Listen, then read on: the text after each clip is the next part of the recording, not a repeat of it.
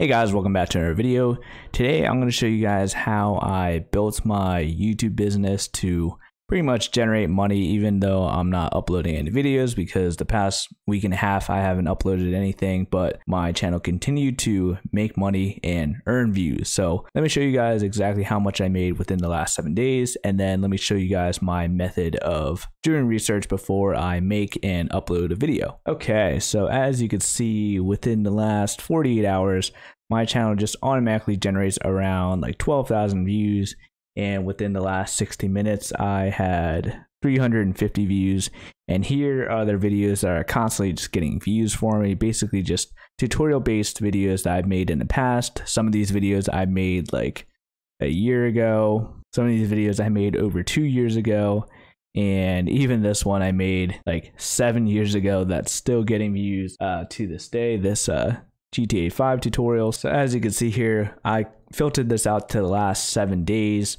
Uh, so you can see on Sunday of last week, I made $93 from just YouTube ads. On this day, I made $113 here, and this day $105, 123. That was a pretty decent day.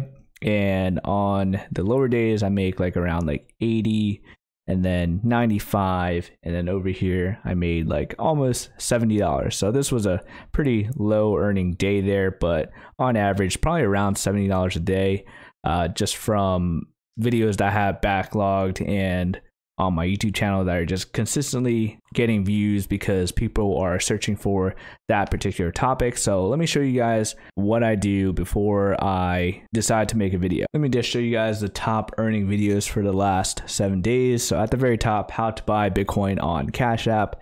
Next, how to buy stocks on Webull, how to cook rice in a rice cooker, Coinbase versus Coinbase Pro fees, and how to sell on eBay for beginners. So you can see that Within the last seven days, this video generated $92, $60, almost $40, almost $40, and $32. So let's take a look at this video here, how to buy Bitcoin on Cash App. Okay, so you can just see on this video, it's a three minute video, it's a tutorial, generated 172,000 views and over the course of its lifetime has made me almost $4,000 here. So let's look at the details here. Scrolling down, make this a little bit bigger for you guys. So I'm using something called vidIQ. It's a Google Chrome extension that you could just download onto Google Chrome, or you could just go to like vidiq.com slash spath, and it's a free download. Every download helps support my channel, so feel free to check it out. I'll also leave a link in the video description below. So with vidIQ, I could see that this search term for this video is ranked number one for search. So if I type in how to buy Bitcoins on Cash App, this is number one. Or if I just search how to buy Bitcoin, just that search term, it'll show up as 11th for those keywords. So let me just show you guys real quick. Go to YouTube. Let's type in here how to buy Bitcoin on Cash App. Okay, search that there. And as you can see, my video is the top result.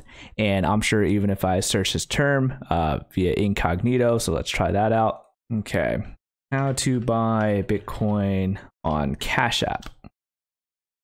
Okay, so even if I go into incognito, you can see that my video is still at the top of the search result for this particular keyword. So going back on the right hand side, you can see that overall, this is a pretty high volume search term. So we're going to right click, copy, and we're going to go over to vidIQ. So we're signed on to vidIQ here. This is the website I use to do some background research on what keywords I could potentially use in the titles and tags of my videos. So let's type in here how to buy Bitcoin on Cash App just to show you guys the search term in my research that I do for my videos. Again, feel free to go onto vidiq.com slash spath and sign up for this free program. Right now, I'm using the paid version. If you're using the free version, you'd only get like five search results. But since I'm using the paid version, I get access to all these other keyword suggestions. So, how to buy Bitcoin on Cash App.